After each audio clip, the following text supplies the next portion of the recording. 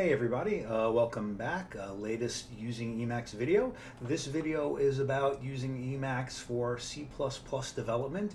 Um, actually, it's really for my students and um, my students are just learning.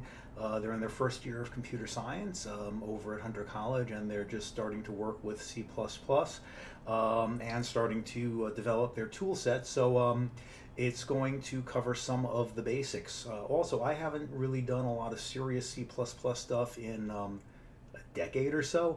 Uh, so um, I'm just using, I use some basic tooling. And if anyone has suggestions um, or corrections, if I'm using a tool incorrectly or I shouldn't be using a tool or you have some great ideas, uh, please chime in on the comments. So we're going to do uh, just a little, um, little example. We're also going to talk about make a little bit. We're going to do a, a pretty a simple example. It'll be a little contrived, and uh, the code is going to be broken down in a contrived way just to, to show the example, but um, you'll, you'll get the idea. You know, it'll make sense. So um, we're going to do something that will let us uh, figure out combinations, uh, you know, n choose k, that type of thing. Uh, you know, that accounting type thing based on factorials and stuff uh, that, that you, um, you, know, you may have done. It's a, it, this is a subset of an assignment that the students had, so I figured it would be a good thing to do here. So even regular Emacs, so let's go to main.cpp. Um, if I do Emacs-Q, um, it's going to not load the configuration file, and you get some stuff. You know, you get, uh, you know, you get uh, the, the, you know the code, uh, the syntax coloring, you know that type of thing, but not a whole lot. Um, and I don't even have my yes, Y instead of yes. Um, but we're going to use, uh, we're going to start with my basic configuration. And if you look at the, if you've been following along this series, you know that we've installed a number of, um, of packages that help us out. And I'm going to talk a little bit, actually, let me, um, let me get rid of that. And um, there are a number of packages that, that we've been using for other purposes that are going to help us out a lot in terms of um, C++ development. So the first thing I'm going to do is I'm going to make my font, ah, that's smaller, hitting the wrong key there. Let's make the font bigger. Um, and uh, let's start with, well, some of the stuff we have, if I just have IO and tab, we get IOstream. And that's because of the, um, the yasnippets package. Um, so if we go here to our configuration, you know, that basic configuration for yasnippets is giving me that snippet.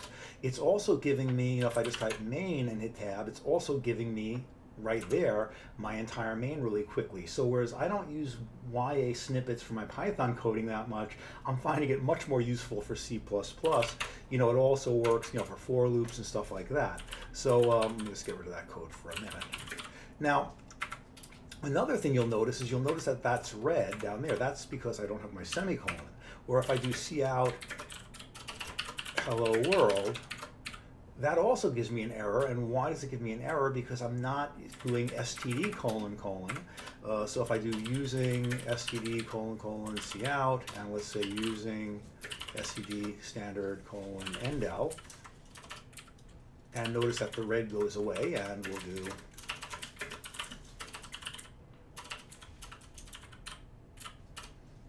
I'm not typing very well here. Um, and now if we come over here, put Emacs in the background, and notice I'm not exiting Emacs. Um, I'll compile and I'll run. Now all of that that red stuff when I had those little errors like end or endl there and I that you know that guy there, all of that's based on FlyCheck. And again, out of the box, FlyCheck gives me all of those checking features. So another thing that I haven't covered yet is you'll notice here that I don't really need this, we're not using this yet. Uh, normally if I'm in Emacs, if I type Control K, it gets rid of everything till the end of the line. But if I'm here, if I type Control K, it only gives it to me in the parentheses. Or another cool one is, let's say I have a little function, and I'm here, Control K gets rid of the whole thing. And that's because of uh, smart parens, which I haven't covered yet in a video because I'm still figuring it out myself, but smart parens lets me do that, and that's a really, really, really nice feature. Um, so anyway, um, what we're going to do is we're going to work on this little combination um, thing, and so we know that, or we may not know if we not remember, um, that combination of n choose k is going to be n factorial over, um, what is it, k factorial times n minus k factorial. So that's the calculation. I'll just put it up there for our convenience. Um, so to do this, we're going to have to write some pieces. And so we're going to write factorial. And I could write it here, but um, since I'm trying to show some of the Emacs uh, C++ features, and I also ultimately want to talk about um, make in here as well, let's go to another file. Let's go to fact.cpp, and um, that'll be our fact routine. So int fact int n, and we'll just do this pretty naively. Product equals 1, and then for, notice I'm using the yasnippets for int i equals 1, while i is less than or equal to n, i plus plus, p equals p times i, and then we'll return our product. Um, and that will be that. And if I want to compile these together, um, I'm going to somehow have to let, I can't just type here, you know, like, uh, let's test this for int i equals 1, i is less than, I don't know, 10, i plus plus, see out, uh, let's say i, fact i. Now if I wanted to, if I wanted to compile this, I would normally go g++ main.cpp fact.cpp, but main doesn't know about fact, so I have to somehow tell it that, and I'll do that by creating a file called fact.h, and in here, I'll contain the prototype. Let's go to fact.cpp, and we'll include fact.h. Let's go to main.cpp, and let's also include fact.h. And now that's all good and that works. Now, the next thing I want to show you about in Emacs is I can actually compile this from within here. I could type metax compile, and you'll see down here it says make-k, but I can just put whatever I want to do to compile this down there and it runs it and that's it. And I can even run my program from within Emacs, but I'm not going to do that right now. What I am going to do is I'm going to fact, go to fact.cpp and I'm just going to put in a little error here, nothing big. Um, uh, let's put in two errors, okay. And of course, I'm told about this because of the um, uh, the FlyCheck highlighting, but let's pretend that I don't have that on or I don't notice it. If I do my metax compile, and I can just hit enter because it remembers the last compile line, I get these errors. I get the same errors if I try to compile it over here. But if I'm in Emacs, I can type Control X and then the back tick, and it brings me to the next error. So that's IT, it's supposed to be int, and that's great. And I can do, um, uh, save that. And well, the other error is right here, but let's compile again. Look at that.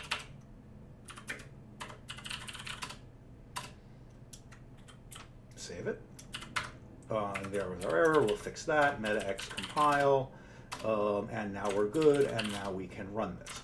Um, so that's a really nice feature. But this feature is really meant to be used not just with typing complicated lines on their GPP, G++, all these different things. Um, you'll notice that the default was make-k uh, because it's meant to use to be worked uh, to be used with make to build your program. So to use make, we have to make a make file. So we'll do that, and we'll say main dot the main, our actual main program, is going to be based on main.o and fact.o, and that's going to be g++ o main, main.o, fact.o. And then um, main.o is going to be based on main.c, CPP, and is going to be based on anything else, I don't remember.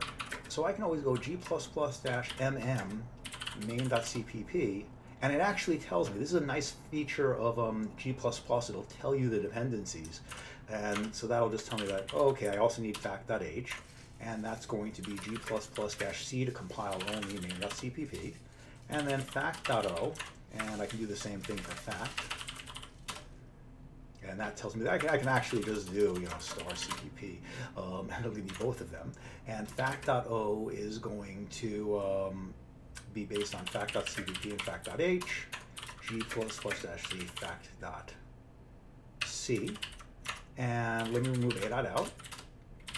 And I can type make in here, and I've got a little problem here. Um, fact.o failed. Uh,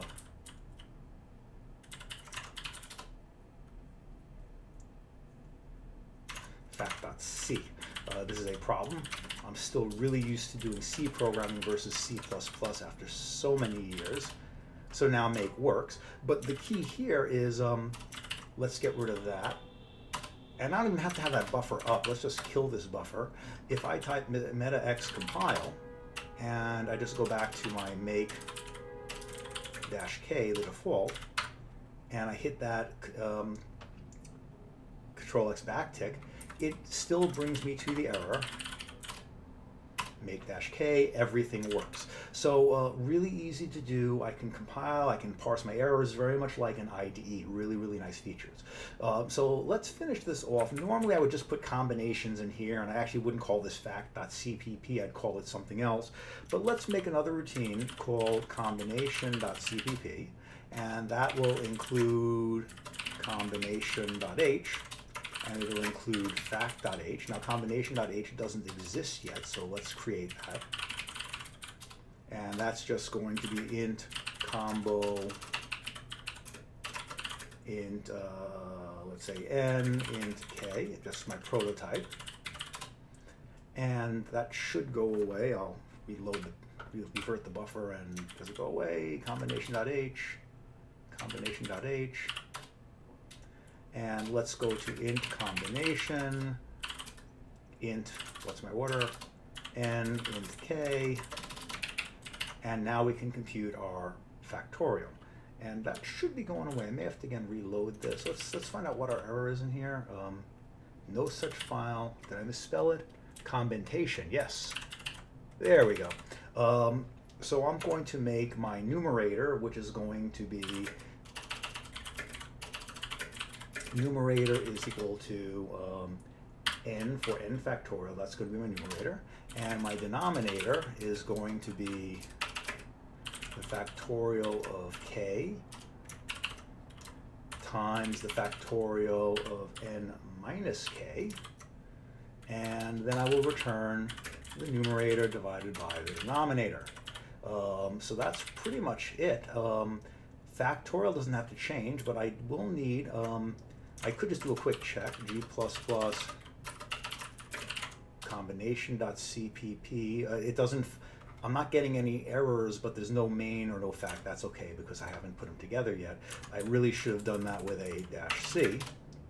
Uh, but now if I do g++ plus dash mm star CPP, you'll notice that combination needs these guys. Um, I haven't um, quite finished. I have to fix main because so well. Let's actually let's fix let's let's fix main main.cpp and let's say here let's see out combo five three and let's just actually see if uh, that makes any difference. Not yet. We're going to have to include combo or combination.h. And notice here we have all our dependencies. Let's type them in. Um, combination.o, combination.o, and combination.o is based on combination.cpp and fact.h, and that's going to be g++ dash c combination dot o or dot cpp. So escape x compile make, we have an error and uh, no reference to combo, so we forgot something somewhere. Um,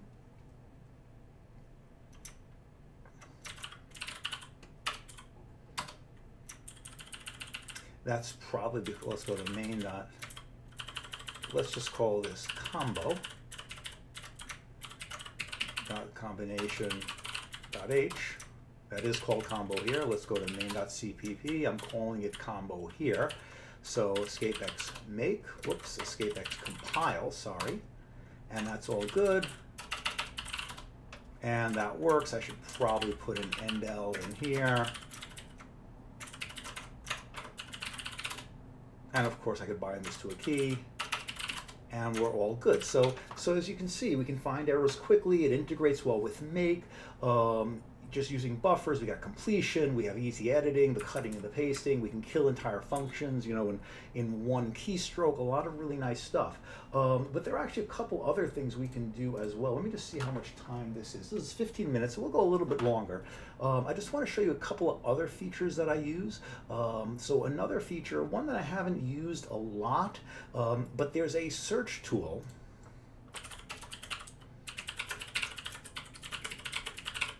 called Silver Searcher, if I could spell it right.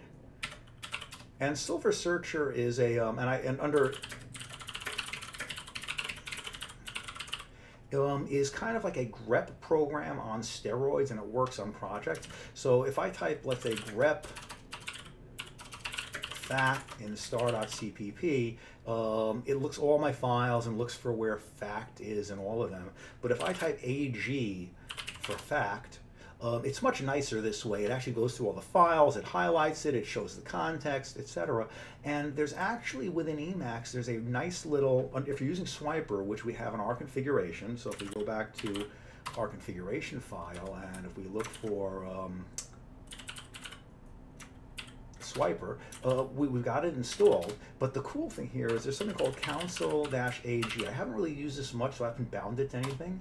And now if I look for fact, it brings up all of the fact references and I can find them and jump to the file really quickly. Or if I type Control C, Control O, it actually brings it up in the buffer. Or I want to see this in the make file. Great. I want to see this um, in the H file. That's terrific. If I want to see this in fact.cpp, uh, really, really nice, easy way to navigate through your file. So Silver Searcher, really nice. Um, I'll see if it gets into my workflow. Um, but the other tool that I use a lot is something called, and I'm going to jump down here because I already have it installed, um, something called ggtags. Um, and this is coming from the old ctags, uh, which is um, a way of mapping all your functions onto all of your files. And the way this works is you'll have to install something. Um, under Linux, you'll have to install the package global, and that'll give you the program ggtags. But the, the cool thing about this is once you've installed it, let's go back into main. Um, and once you've installed the package and you look at my configuration, you get this menu and you can do all sorts of stuff here. But the key one is find tag, meta dot. So let's say I go over to this combo routine, I can just hit meta dot. And the first time it's going to ask me what my root directory is and it's going to ask me if I should use the CTAGS backend. It won't ask me this in future times because it'll already have built the database. But bang, I'm at the definition right there. And now I want to go, you know, I can go back and forth by changing my buffers. If I want to go to the fact routine, I can just hit Alt dot and I'm there. So it's a really amazingly fast way of navigating around your code. So I, I very highly recommend using tags as your code base gets big. It's a really quick way to navigate. You can be on any definition, you hit a key, you get to that, you know, the code for that automatically. Now the other one is something that I haven't really used, um, and I've heard mixed opinions about it on the, um, you know, uh, on the web, which is something called the Emacs Speedbar. And if you bring up the speedbar, you'll see it's uh, it basically just brings a little mapping of your project here. And so here's fact.cpp, you know, and it, it does a reasonable job of, of kind you know, like I can go into main, um, you know, etc. So that that's okay. Let's let me actually go into another project that I have. Um, totally different project. So this is like a project I wrote. Uh, source, archives. Uh, let's say graphics projects, graphics project, three um, main.c. It's a C program, but whatever. Um, but I did this years ago, like uh, two decades ago. Um, and so, for example, if I type alt dot here, um, brings me to my, this is C, not C++, um, or if I'm looking for something here, I don't know, um,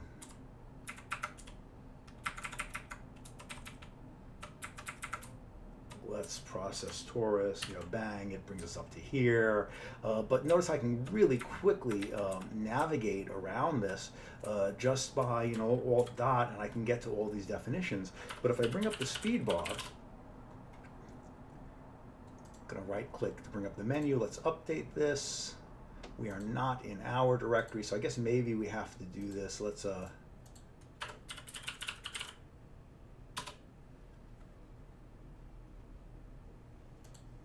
I guess I'll have to navigate this manually. So uh, a reason not to use this. Uh, home, Zamansky, um, source, archives, graphics, graphics project. Okay, so we've got this.